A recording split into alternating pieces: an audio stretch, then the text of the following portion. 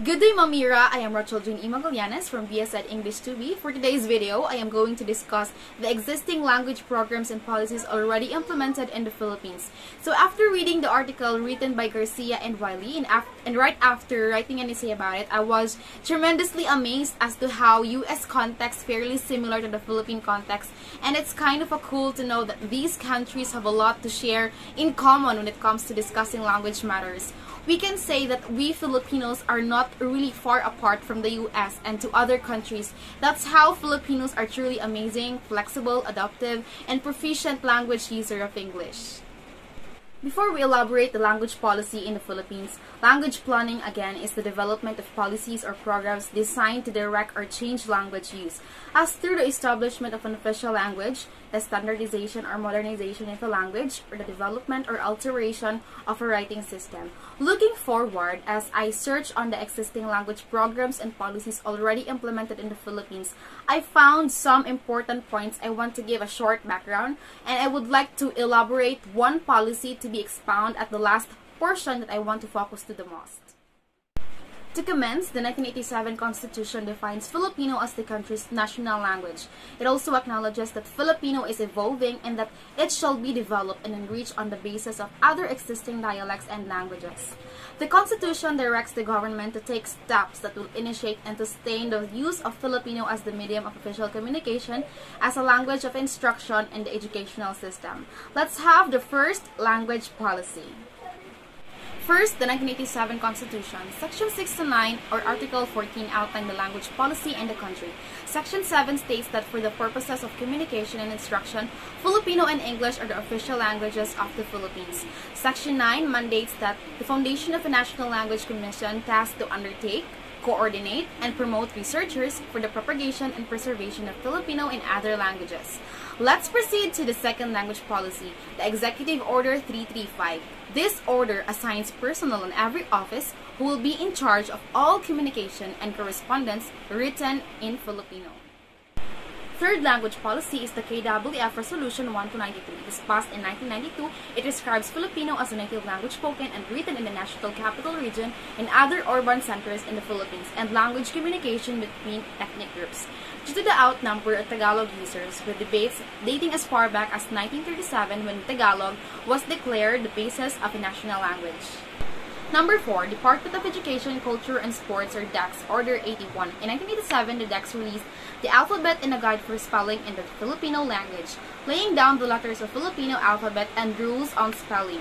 According to the order, Filipino is composed of 28 letters, the original 26 letters of the English alphabet plus letters Nye and NJ. The fifth language planning in the Philippines is the bilingual language policy. It seeks to attain Filipino and English competence at the national level through their use as a media of instruction at all levels. The sixth is the College General Education Curriculum's language policy. The GEC requires higher education institutions to have at least nine units of Filipino language courses in coordination with DepEd's bilingual education policy, whether Filipino should be taught. And the last policy I have said earlier that I want to focus to the most is the K-12 program and the mother tongue-based multilingual education or MTB-MLE.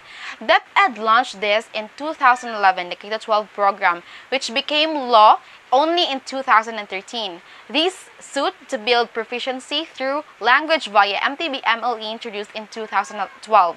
The mother tongue or first language refers to languages or dialects first learned by a child in which the child identifies with. So, is there some issues and challenges upon implementation of this policy? Yes, definitely. It has been a debatable topic before and up until now, there are still some challenges faced by the language users.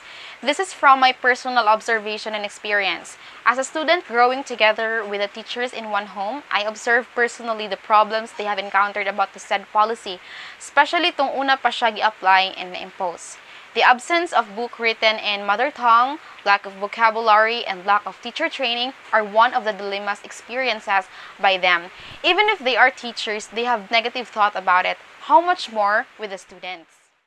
My personal struggle about it is every time my siblings have an assignment and they ask help about the terms of some words like grabe jud siya kalaglo niya di ko halos makasabot. Unsa na lang pod ka akong manghod dili pod ka sabot. So, the other intervention to know the word is to search online which sometimes a struggle for learners in the learning process since there are a lot of difficult vocabul vocabularies encountered which in return usahay sa putunta. Also, with the K-12 program, upon its implementation, a lot of Filipino people did not support about it as it adds burden to the another years of spending time with education. But on the other hand, as we notice, K-12 program and MTB MLE are still existing today, and we have seen a lot of progress making learning more influential. Amidst its issues and challenges, there are researches conducted making possible solutions to solve the problem. Above all the policy, it is still highly beneficial, and a lot of researchers can evidently prove that. The seven policies I have presented are the existing language programs and policies already implemented in the Philippines, which I believe all of us encountered, and it is tremendously has a specific purpose. That is why it has been imposed. The officials of the government have the power to employ these. One, that we Filipinos should observe, follow, and support as long as it is beneficial to all humanity. That's all for today's video. Thank you so much, Ma'am Mira. God bless you po and keep safe always.